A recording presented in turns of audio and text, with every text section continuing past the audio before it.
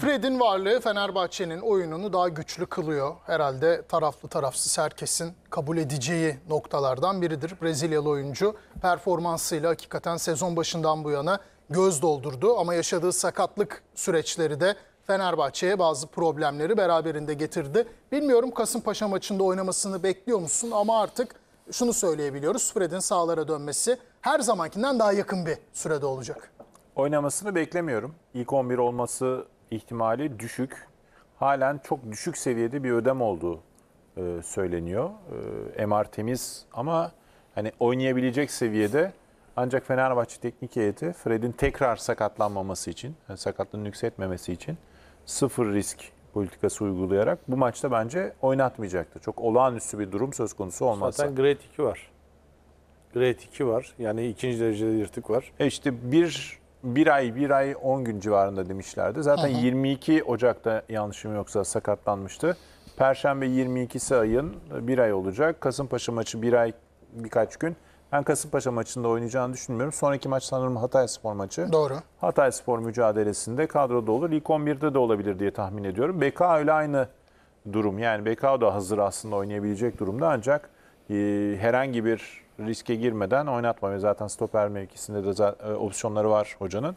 Burada da çok olağanüstü bir durum olmazsa yani farklı sakatlıklar vesaire yaşanmazsa orta sahada riske edilmeyecektir. Kadroda olabilir ama ben ilk 11 olmasını kesinlikle beklemiyorum. Fred'in dönüşü Onur Özkan sence neleri değiştirecek? Özellikle hangi oyuncuyla birlikte orta alanda görev yapacağını fazlasıyla merak ediyoruz. Bize göre İsmail Yüksek Evet. biraz daha ön planda. Yani İsmail'le uyumu son derece iyiydi bıraktığı yere dönecek olursak. Ana sakatlandığı dönem İsmail'e ciddi bir uyum yakalamıştı. Şu an gözüken evet İsmail'e devam edecek. Ya tabii ki Fred'in dönüşü sadece kendi bireysel performansı olarak değil, birçok oyuncunun performansı açısından da önemli. Hep söylüyoruz. Özellikle Şimanski belki de Fred'sizlikten en keskin etkilenen futbolcu oldu. Onsuz e, geçirdiği süreçte gol bulamadı. Sadece bir asisti var Şimanski'nin.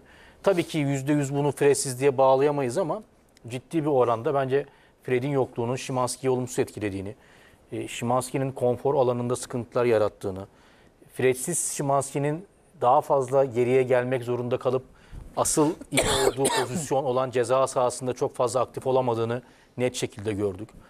E, Fred'sizlik İsmail'i de olumsuz etkiledi bu ara. Bu arada Kuruniç'le beraber oynarken evet İsmail gerçekten çok iyi oynuyor bu arada. Çok formda. Onu belirtelim ama e, Fred varken çok daha rahat bir İsmail görüyoruz. O anlamda onun da performansını etkileyecektir.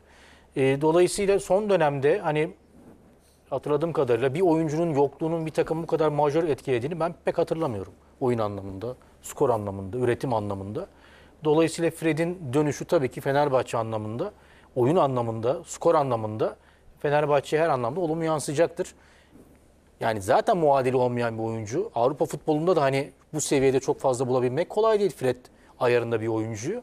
E, Fenerbahçe'nin şampiyonluk yarışında tam zamanında döndü diyebilirim ben Fred için. Kartal Yiğit büyük bir gelişim bekliyor musun Fenerbahçe'de Fred'in dönüşüyle beraber? Çünkü Sarı Lacivertlilerin kazandığı e, ve iyi oyun oynadığı maçların çok büyük bir bölümünde Brezilyalı oyuncu sahadaydı. Şimdi Krunic Fred'in yokluğunu dolduruyor mu? Bence dolduramıyor. Yani bir kere evet daha aslında şimdi şunu da söylemek lazım. Daha çok ofansı seven bir oyuncu Krunic. Ama e, Fred'e baktığımız zaman defansif yönü daha çok olan, agresif olan bir oyuncu. Şimdi Çaykur, e, Çaykur Rize maçında bak gördüğümüzde sahanın hali ortadaydı. Yani O başka bir maç oldu. e, İnanılmaz bir şeydi. Yani bir pirinç tarlası gibi bir, bir yerdi yani. Ben oraya saha demiyorum. Ama bu tür sahalarda mücadele gücü ve fizik gücü yüksek oyuncularla oynamalısınız. Fred de bunlardan biriydi. Kronic'in ne kadar zorlandığını gördük. Öyle olunca evet arkadaşların da dediği gibi yani e, İsmail de bu sefer tek başına kalıyor. Zorlanıyor. O bölge tamamen böyle savunmasızmış gibi gözüküyor. Fenerbahçe açısından bir dezavantaj. Tabii ki Fred'in gelişi e, İsmail Hoca'nın elini büyük oranda rahatlatacaktır ama tabii nasıl gelecek onu da e, bilemiyoruz şu an. Bu tür sakatlıklar sonrası oyuncuların sahaya performansları nasıl yansıtacakları, işte e, eski fizik gücünde olup olmadıkları hep soru işareti. Nasıl döneceğini görmek lazım. Yani öyle daha e, sahaya adımını atmadan çok fazla yorum yapmamak lazım ama geriye dönüp baktığımızda Fred'in Fenerbahçe için iyi şeyler yaptığını söyleyebiliriz. Eksikliği aranıyor mu? Büyük ölçüde aranıyor. O nedenle gelişiyle e, dediğimiz gibi İsmail Hoca da e, planlarını ve kenarda oturan oyuncularını farklı bir şekilde değerlendirecektir. Serhan Türk sence yokluğunu hissetti mi Fenerbahçe Fred'in? E, tabii ki hissetti. Önemli maçlarda hissetmemesi gerekiyordu. Çünkü eşiği geçmesi lazım. Gereken maçlar vardı Fenerbahçe'nin. Bu yarışta puan kaybetmemesi lazımdı. Bu yarışta puan kaybettiği maçlarda Fredsiz maçların daha fazla olduğunu görebiliyoruz. Mesela biraz önce Onur dedi ya Galatasaray için e, bir hoca takımı dedi. E, Fenerbahçe'ye geldiğimizde de o zaman o mantıkla gidersek oyuncu takımı. Yani oyuncuların performansıyla iyi yerlere gelen bir Fenerbahçe'yi çok fazla konuşur hale geldik. Oyuncu performansı olmasa zaten ne kadar iyi hoca Aynen. olursan ol bir yere gelemezsin ama salt oyuncu takımı da demek biraz İsmail Hoca'nın emeklerinde de haksızlık Ya, olur. tabii ki yani İsmail Hoca gerçekten iyi bir teknik adam ama şunu da söylemek lazım. Bir sezon başından beri Fred'li Fenerbahçe'li Fred'siz Fenerbahçe'yi konuşmaya üzere e, yayınlara çıkıyoruz. Çünkü her maçın farklı bir hikayesi varken Bu arada Fred herhalde bu ligde hangi takımda oynarsa oynasın yokluğunda e, epey yara alınacak ya da yokluğu hissedilecek bir oyuncu. kesinlikle ama çok fazla da sakatlık geçiren de bir Fred de var. Onu da görmek lazım. E, ceza alanda bir Fred var. Ama diğer tarafta şu da bir gerçek. E, Fred'e acil ihtiyacı olan da Fenerbahçe var. Çünkü ligde kopmamak istiyor. Ligi daha fazla domine etmek istiyor. Ligde puan kaybına e, tahammül olmayan bir Fenerbahçe var. Maç kazanma ritmini arttırması gereken bir Fenerbahçe var. Son haftalarda çözüm yani şimdi bitiricilik yoktu ama üretkenlikte de sıkıntı yaşayan bir Fenerbahçe vardı. Üretkenlikte daha hareketli hale gelebilmesi için Fred'in oyunda olması lazımdı. Fred geldiği zaman dertler bitecek ama yine Fred'siz bir Fenerbahçe'de e, tahammülü yok bir e, ligde olduğunu düşünüyorum Fenerbahçe'nin. E, Yusuf Kenan sen Kurunic transferi gündeme geldiğinde çok iyi hatırlıyorum. Biraz daha acaba savunma yönü daha baskın, daha net bir oyuncu alınsa daha mı iyi olurdu diye sorguluyordun. E, Ben senin zamanın seni biraz haklı çıkardığını düşünenlerdenim ki hemfikirdim seninle. Şu an Kurunic'e bakış açın ne? Kurun için e, oyuncu olarak eleştirisini yapmıyorum. Çünkü oynadığı kurgu biraz farklı. Evet. İşte Milan'da yanında Tonali, Benasser ya da işte Brahim Diaz da oynuyordu. O orta saha kurgusunu koyarsanız yani topa sahip olabildiğiniz ve mümkün olduğu kadar rakip bir sahada oynadığınız orta saha kurgusunda Kurunic Ve ön tarafta bağlantı kuran bir oyuncuya sahipseniz. çok- Şimanski daha çok tamamlayıcı bir figür. Kesinlikle katılıyorum. Yani Tadic olsa or- orada mesela 10 numara Ya da o profilde bir oyuncu. Ya o profilde bir oyuncu ta- daha verimli olabilirdi. Şimdi Evet. Kurunic'i izlediğimiz anlarda Fred'le hiç izlemedik. Yani Sandro Tonelli ile ve Ben Nasser'le ya da işte Brahim Diaz'la oynadığı Kurunic'i biliyoruz Milan'da. Zaten bu Milan'ın önemli bir parçasıydı.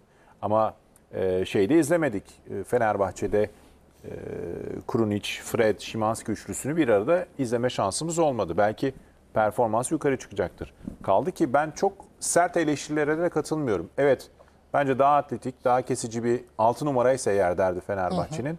Böyle bir oyuncu seçilebilirdi. İşte Sumare gibi örnek veriyorum. Ee, daha farklı bir profile gidilebilirdi. Ancak gidilmemesinin temel sebebi de benim anladığım kadarıyla ve bildiğim kadarıyla hocanın tercihiydi. Hoca çünkü birinci bölgeden çıkarken sırtı dönük topu alabilme ve dağıtabilme kapasitesi olan bir oyuncu istiyordu. Şu an onu yapması için ikinci bölgedeki sorunu çözmesi lazım hocanın. Ki ikinci bölgedeki temel sorun da Fred'in olmaması. Top biraz yavaş dolaştığı için üretkenlik değil de daha çok bitiricilik ve kaliteli pozisyon üretme konusunda sıkıntıları var Fenerbahçe. Yani aynı pozisyonu buluyor ama daha fazla rakip önünde oluyor oyuncunun. Aynı pozisyonu buluyor ama orta imkanı yakalayamıyor gibi. Savunmanın daha rahat savunduğu pozisyonlar bulmaya başladı Fenerbahçe. Yoksa aynı oyun oynuyor, farklı bir oyun oynamıyor. İki maç var sadece Fenerbahçe. Üç maç var pardon. Fenerbahçe'nin oyununu değiştirdiği. Norşeland karşılaşması, içeride oynanan Adana Demirspor mücadelesi ve Antalya Spor mücadelesi. Burada oyunu değişik oynadı e, İsmail Kartal ve aslında istediğini de aldı 3 maçta da. Adana Demirspor maçında da oyun olarak istediğini aldı. Bence skor anlamında kazanabilirdi de. E, oyuncu performansına katılıyorum. Evet. Bir oyuncunun bu kadar etkilemesi orada çözümü bulamamış olmayı da gösteriyor. Buna da katılıyorum. Çok sık sakatlanıyor meselesine katılmıyorum. 10 yılda 10 maç kaçırmış Fred. 10 yılda 2014-2024 arası 10 maç kaçırmış. Fenerbahçe'de şu an 13 maç oldu. Yani bu Sadece biraz burada talihsizlik. Sıkıntı iki sakatlığında darbesiz sakatlık olması Evet, şey, olabilir. oradan oradan şu çıkarımı yapabiliriz. Ben en azından kendi adıma öyle yapıyorum. biraz yüksek seviyede ve zorlayıcı derecede oynatıldı Fred. Bence Tadic için de, Ceko için de, Şimanski için de benzer şeyleri söyleyebiliriz. Ee, belki limitlerin tam hani e, e, uç noktasında biraz da e, az risk alarak yani Fred'in oynamaması gereken ya da dinlendirilmesi gereken maçlar da olabilirdi. Fenerbahçe Fred'siz de kazanabiliyor. Gördük Fred'in yokluğunda zaten kazandığı maçlar var. O zaman bazı maçlarda da Fred'siz de oynayabilirsiniz. Farklı bir tercihe de gidebilirdiniz. Buradaki alternatiflerin sıkıntısı. Mert Hakan sakatlık geçirdi. Sezona iyi başlamıştı aslında. Sonrasında toparlanması zaman aldı. Zayt o rolü hiç dolduramadı sonrasında sakatlandı. Crespo e, bence Fred'le aynı kalibrede bir oyuncu değil. Farklı bir oyuncu. Antiparantez bir şey açabilir miyim Tabii. sana? Mesela Fred'in olmayışı bazı oyuncularda performans anlamında da sıkıntıya soktu. Özellikle Şimanski'yi. Şimanski'yi de Fred'siz oyunlarda e, çok fazla verimli göremedik. Der pası sana atarım. Yo, öyle Şimanski'nin verimsiz olması meselesi bir yorulmuş olabilir buna katılırım. Çünkü efor konusunda cömert bir oyuncudan bahsediyoruz. İki bir eleştiri görmüştüm ve bunda haklı buluyorum. Şimdi Fenerbahçe'nin 10 numara pozisyonda oynayan bir oyuncunun oyun içerisindeki ağırlığının da fazla olması lazım. Buna katılıyorum. Topla buluşma sayıları çok Topla az. buluşma, oynatılma şekli, pas ağındaki rolü, oyunu yönlendirmekteki rolü bunların hepsinde daha ağırlıklı olması gerekiyor. Ancak bu teknik direktörün tercihi mi, oyuncunun profili mi ona henüz karar veremedim. Açık açık ve net söyleyeyim. Yoksa hani karar versem söylerim. Ve bunu İsmail Hoca'ya ben sormuştum. Ee, hoca e, hocam siz bunu bu oyuncuyu ikinci forvet olarak oynatıyorsunuz. Bu bireysel olarak sizin tercihiniz mi yoksa oyuncunun profili onu oraya doğru itiyor? Bazen oluyor öyle şeyler. Alex de Souza da kariyerinin sonlarında ikinci forvet gibi oynuyordu.